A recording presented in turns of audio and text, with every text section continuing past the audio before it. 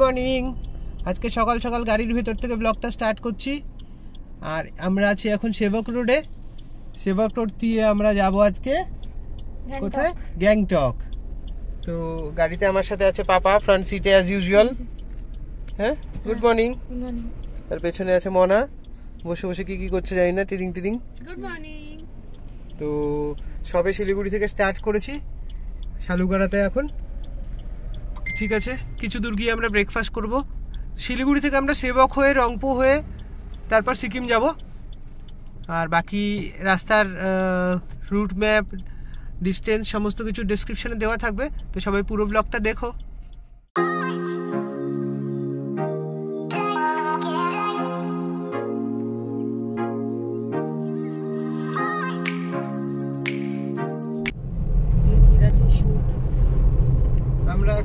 চলে এসেছি সেবক। তো আমাদের রাইট সাইডে তিস্তা নদী আছে, যদিও এখানে আশেপাশে গাছ আছে বলে দেখা যাচ্ছে না। পাশ দিয়ে তিস্তা নদী শুরু হয়ে গেছে। এই তিস্তাটা আমাদের সাথে যাবে রংপু অবধি। তো এই যে, এই জায়গাটা আমাদের সবার দারুণ লাগে। এখান থেকে নেমেই ওই দূরে দেখা যাচ্ছে রেল ব্রিজ তিস্তা নদীর সেবকের রেল ব্রিজ তো ভাবছি সেবকেই দাঁড়িয়ে একটু ব্রেকফাস্ট করে নিই। ব্রেকফাস্টের সময় দেখা করছি আবার। সেবকের রেলগেট বন্ধ আছে। আর তার সাথে সাথে আমরা এখানে দাঁড়িয়ে গেছি রানা ফাস্ট ফুডে এটা সেবক বাজারে। তো একটু খাওয়া দাওয়া করে নিই এখানে আমরা মোমো অর্ডার দিচ্ছি। সকাল সকাল যেহেতু সিকিম যাচ্ছি, মোমো দিয়েই শুরু। ওই যে রেলগেট দিয়ে ট্রেন যাচ্ছে। পাশেই বাঁ পাশেই সেবক স্টেশন আছে। আমাদের গরম গরম মোমো চলে এসছে। সাথে লাল লাল চাটনি, ঝাল ঝাল চাটনি। তো এখানে সকাল সকাল ওরা ভেজ মোমোই বানিয়েছিল, তাই আমি আর পাপা ভেজ মোমো খাব। মনা সকালে ভাত খেয়ে এসছে বলে মনা বলল যে আমি শুধু চা খাব। তো আমরা খেয়ে নিই এখন। আমরা দেখতে দেখতে চলে আসলাম এখন সেবক কালী মন্দির। এই যে উপরে হচ্ছে সেবক কালী মন্দির। আমাদের এদিকে খুব জাগ্রত কালী মন্দিরের মধ্যে একটা। সবাই আমরা খুব মানি। তো আমরা আজকে দাঁড়াবো না। অন্য একদিন সেবকে আসব পুজো দেবো তখন দেখাবো। আমরা এখন এগিয়ে যাই কালীঝোড়ার দিকে। আমরা চলে এসেছি সেবক করোনেশন ব্রিজের কাছে যেটাকে আমরা বাঘপুলও বলি। তো এই যে রাইট সাইডে সেবক করোনেশন ব্রিজ। তো করোনেশন ব্রিজকে ডান দিকে রেখে আমরা চলে যাব সোজা। সোজা। কারণ আমাদের যেতে হবে সিকিম। অন্যদিন যেদিন আমরা ডুয়ার্সে যাই সেদিন এই ব্রিজটার উপর দিয়ে যাই। আমরা কিন্তু মেঘের দেশে চলে আসিনি। প্রচণ্ড ধুলো। কিচ্ছু দেখা যাচ্ছে না। দেখা যাচ্ছে না। এই জায়গাটাই লাস্টে আমার ব্লগে দেখিয়েছিলাম সিকিমের ল্যান্ডস্লাইড এই জায়গাটাতেই ল্যান্ডস্লাইডটা হয়েছিল। আমার পুরনো ব্লগে আছে একটা শর্টস বানানো আর একটা ছোট্ট ব্লগ সিকিমের ল্যান্ডস্লাইড বলে এই জায়গাটাতেই হয়েছিল। রাস্তাটা এখনও পুরোপুরি তৈরি হয়নি।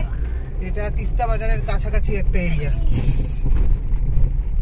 তো পুরো জায়গাটা একদম ধুলো ধুলো গাড়িটা সদ্য ধুয়ে নিয়ে এসেছিলাম। গাড়িটা গেল।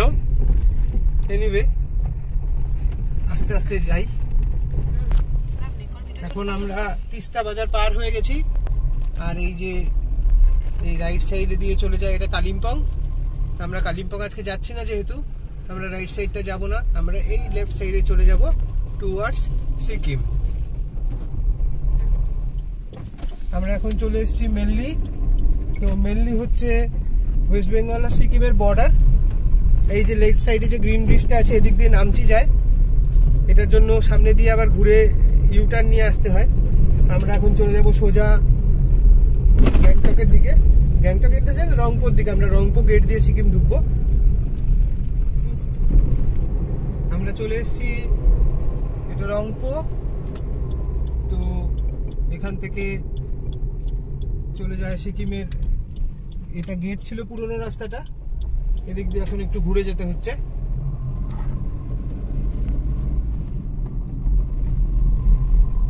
এখান থেকে সিকিম এন্ট্রি করে।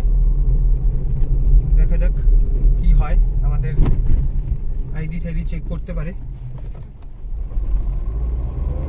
এই যে আমরা এই ব্রিজটা পার হয়ে ঢুকে যাচ্ছি সিকিমে।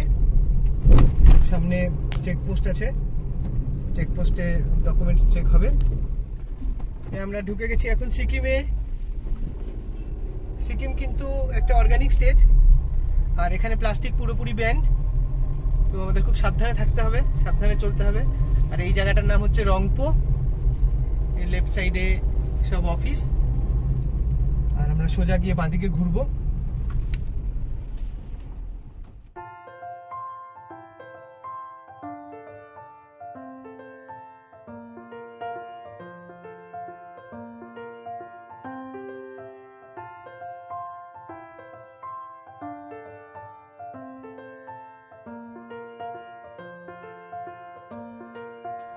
আমরা এখন চলে এসেছি অমৃত মহোৎসব গ্রিন পার্ক।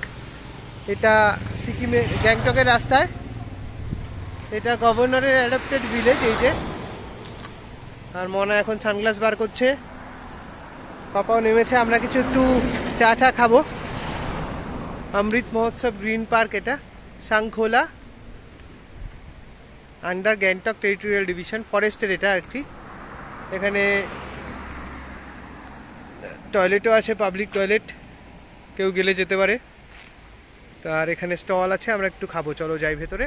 এটা হলো জুলুকের রাস্তা শোনা পরে ভিডিওটাতে বলে দিও। এই যে আমরা এদিকে রানীপুলে পৌঁছে গেছি এখন। রানীপুল থেকে গ্যাংটক ছ সাত কিলোমিটার। তো অলমোস্ট চলেই আসলাম। আধ ঘণ্টা লাগবে আর। আর চারিদিকে শুধু আজাদি কা অমৃত মহোৎসবের ফ্ল্যাগ লাগানো।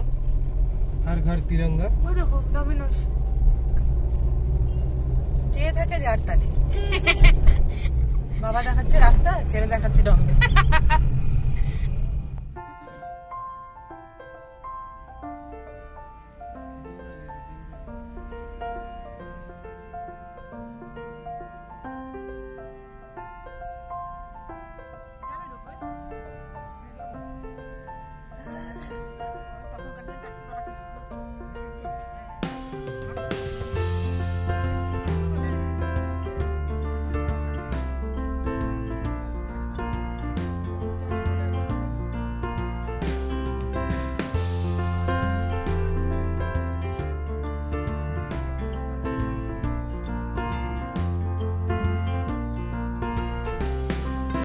আমরা চলে এসেছি ওরিয়েন্টাল এটা সুমিতের, সুমিত ওরিয়েন্টাল হোটেল। তো এটা একদম এমজি মার্গের উপরই। হালকা হালকা বৃষ্টি হচ্ছে, আমি গাড়িটা রেখে এসেছি পার্কিংয়ে। তো এটা এমজি মার্গের উপরই, দারুণ লোকেশন আর আমরা এখন এখানে রেস্টুরেন্ট আছে, এখানে খেয়ে নেব, একটু লাঞ্চ করে নেব। তারপর একটু রেস্ট করব, বিকালবেলা বেরোবো। এই আমাদের রুম থেকে ভিউ বিউটিফুল লাগছে। রোদ আছে, ভালো এমজি মার্গে। মানে গ্যাংটকে আই মিন তো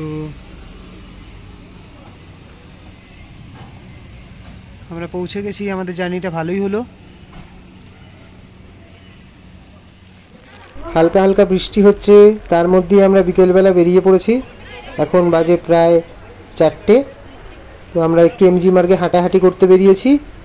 সবাই যে যার মতো ব্লগ করতে ব্যস্ত। মনা, পাপা, সবাই সবাই সবাই হেভি ব্লগার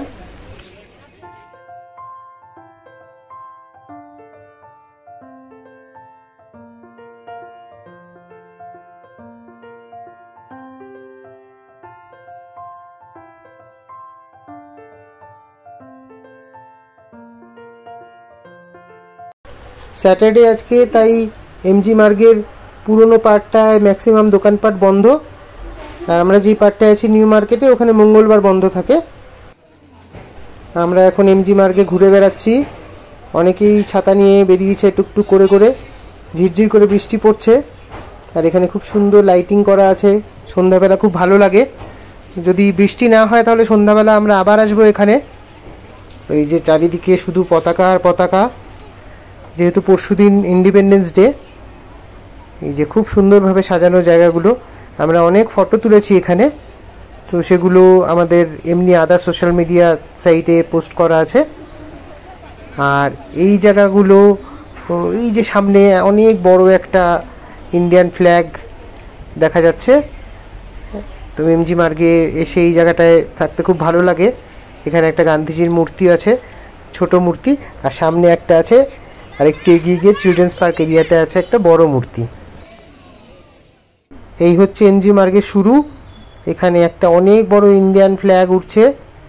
আর এইখানেই, এই জায়গাটাতেই লেফট সাইডে আছে ট্যুরিস্ট ইনফরমেশন সেন্টার যেখানে কেউ এসে যদি কোনো ব্যাপারে ইনফরমেশন নেওয়ার থাকে গ্যাংটক সিকিম তো গভর্নমেন্টের ইনফরমেশন সেন্টার আছে, সেখান থেকে যে কেউ যে কোনো রকম ইনফরমেশন নিতে পারে। বাইরে বৃষ্টি পড়ছে, আর একটু হাঁটাহাঁটি করে আমাদের একটু খিদে পেয়ে গেছে, তাই আমরা এসেছি স্কোয়ার ক্যাফেতে কিছু হালকা ফুলকা খেয়ে নেব, কফি এবং স্ন্যাক্স জাতীয় কিছু। কারণ ডিনার করতে দেরি আছে। তো এটা খুব সুন্দর, এখানে ইংলিশ কিছু মিউজিক বাজে এবং খুব সুন্দর একটা ক্যাফে। আমাদের হোটেলটার জাস্ট অপোজিটেই ব্যাঙ্ক অপোজিটে।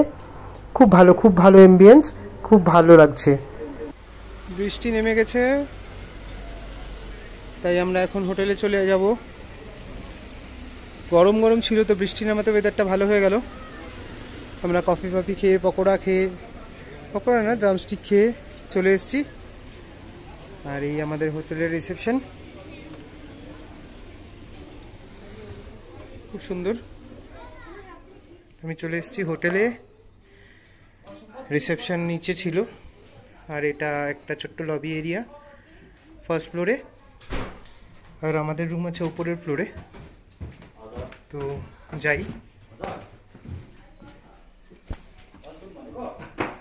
খুবই সুন্দর। চলে এসেছি আমি ফ্লোরে।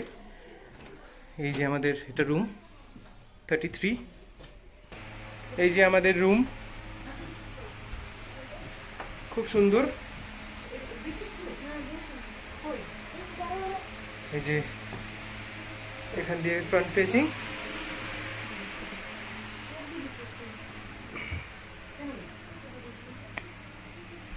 তো ঠিক আছে। আজকের মতো ব্লগটা এখানেই শেষ করছি। যারা যারা আমার ব্লগটা দেখেছ প্লিজ কমেন্ট করে জানিও কেমন লাগছে। আর যারা এখনও সাবস্ক্রাইব করনি আমার চ্যানেলটাকে, তারা প্লিজ সাবস্ক্রাইব করে দিও। কালকে যাব আমরা গ্যাংটক থেকে দার্জিলিং।